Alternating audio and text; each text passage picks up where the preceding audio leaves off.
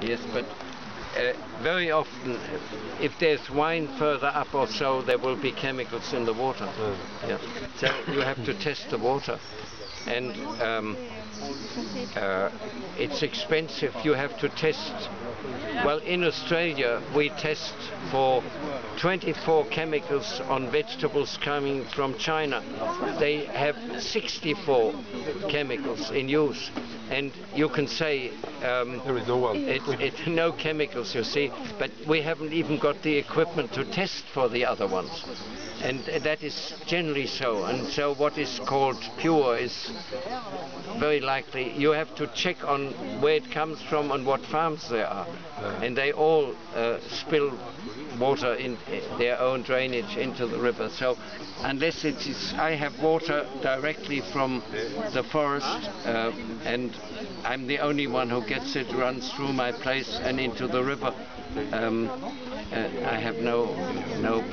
Donc pour l'eau, il dit que on peut tester l'eau, mais euh, de toute façon, on n'a jamais la capacité pour tester. euh, là, par exemple, chez eux, ils, ils testent 25 pesticides sur les produits qui arrivent de Chine, et ils peuvent dire des fois les légumes, on en a aucun, mais les Chinois, ils en utilisent 65 pesticides.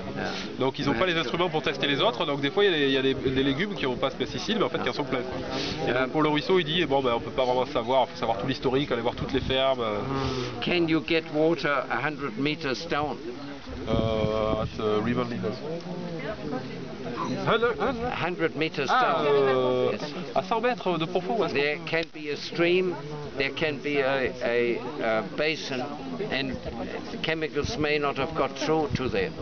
And you have to test that. That is more possible to test. I would try and go very deep. Oui, de Et il dit small, faut ramasser l'eau, l'eau, euh, il faut aller chercher l'eau très à 100 mètres, ouais. Mais Il l'eau testé. l'eau préhistorique, quoi, l'eau pure, l'eau l'eau l'eau de la création, quoi. Là, Or have, well, rainwater, you have big sheds, but then you have to have big tanks, concrete tanks, and keep the rainwater and guide it round. That is always safe. Well, well relatively safe. There is a thing, um, parle pas des eaux fossiles. you allow water to come off the roof and clean the roof, and then it automatically switches over. Mark, Mark uh, Guimont has it. I've seen it. Yes, well, uh, that is another alternative. Fresh, clear water is essential yeah, for you and for them.